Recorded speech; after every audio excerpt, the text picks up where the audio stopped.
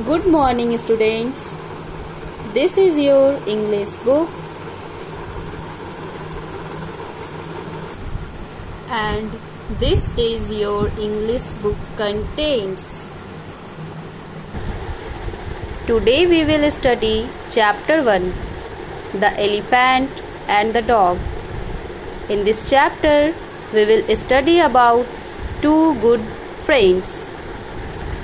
Once upon a time, a dog used to go into the stable where the king's elephant lived.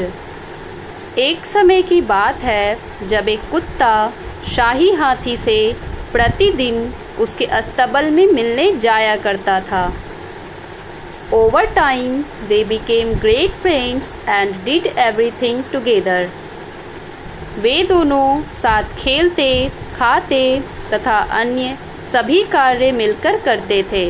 इस प्रकार समय बीतने के साथ साथ वे दोनों एक दूसरे के काफ़ी घने मित्र बन चुके थे।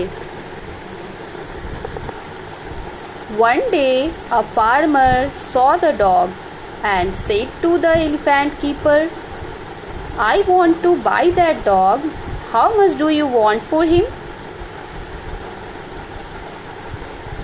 एक दिन जब एक किसान ने उस कुत्ते को शाही हाथी के साथ खेलते हुए देखा, तब उसने महावत मीन्स हाथी के रखवाले से कहा, मैं इस कुत्ते को खरीदना चाहता हूँ।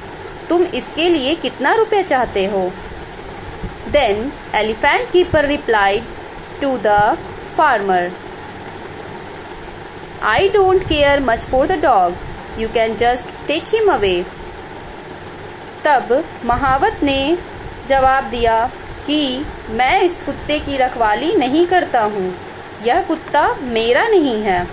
तुम अगर ले जाना चाहते हो तो इसे ले जा सकते हो। The king's elephant missed the dog कुत्ते के जाने के पश्चात अब शाही हाथी उसे बहुत ज़्यादा मिस करने लगा था। The elephant refuse to eat or bath its beans days हाथी ने खाना खाने से मना कर दिया था। और तो और नहाना और खेलना कूदना भी बंद कर दिया था। इसी प्रकार कुछ दिन बीत गए। धीरे धीरे अब शाही हाथी की स्वास्थ्य स्थिति भी बिगड़ रही now at the king's court the king was informed about the elephant's condition He sent for the chief minister to find out what was wrong. अब यह बात राजा के दरबार में पहुँच जाता है। राजा को जब हाथी की स्थिति के बारे में सूचना मिलती है, तब वह अपने मुख्यमंत्री को हाथी को देखने भेजता है। उसे क्या परेशानी है, पता करने का आदेश देता है। The chief minister went to the stable and looked the elephant all over. Nothing seems to be wrong with him, but he looks so sad. He has has he lost a playmate?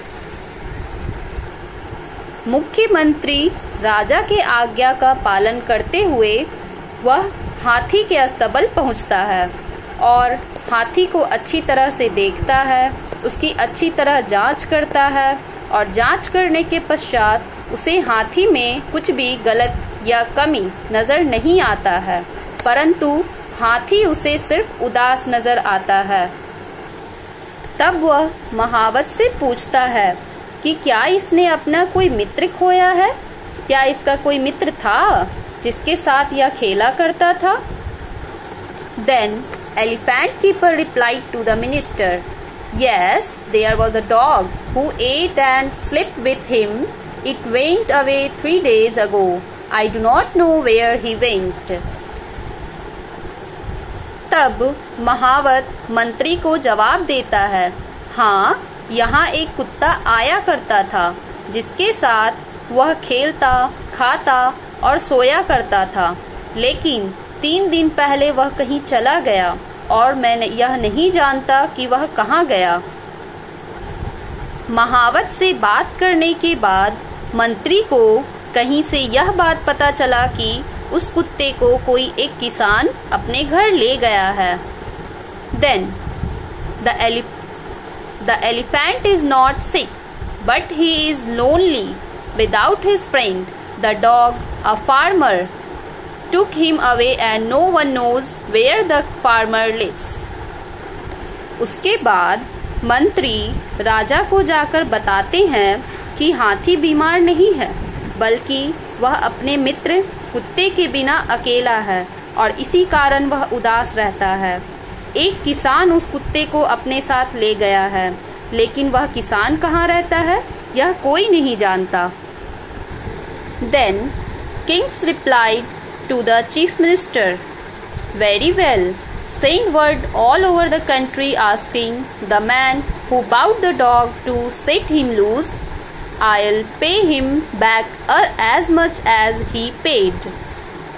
मंत्री की बात सुनकर राजा reply करता है कि बहुत अच्छी बात है इसके बाद वह मंत्री को आदेश देता है कि जाओ और पूरे देश में जाकर ऐलान कर दो कि जो कोई भी उस कुत्ते को मुझे वापस ला कर देगा मैं उसे मुँह मांगी इनाम दूँगा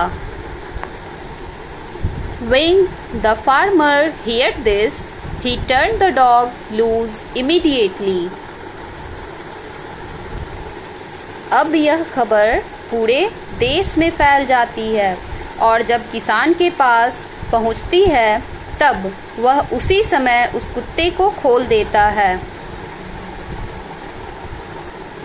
the dog ran back as fast as he could. At the royal stable, the elephant was so glad to see the dog that he picked the dog up and put him on his head. रस्सी खुलते ही कुत्ता तेज़ी से दौड़कर वापस शाही stable means अस्तबल में पहुँचता है हाथी से उसे देखकर बहुत खुश हो जाता है और उसे उठाकर अपने सर पे बिठा लेता है। इस प्रकार दोनों मित्र अब फिर से खुश रहने लगे। Okay students if you understand this chapter properly then can you give me answers of these two questions and you can solve these questions in your copy. Question number 1 How did the elephant show his sadness? This is the answer of that question. The elephant shows his sadness by refusing to eat and bath for days. Now, this is your second question. Question number 2 if the elephant could speak, what do you think he would say to the dog? Answer. I think he would say, Welcome back, my friend. I am so happy to see you again. Students, if you can give the answers of these questions in your way, then you can do so. Okay, bye students. Thank you.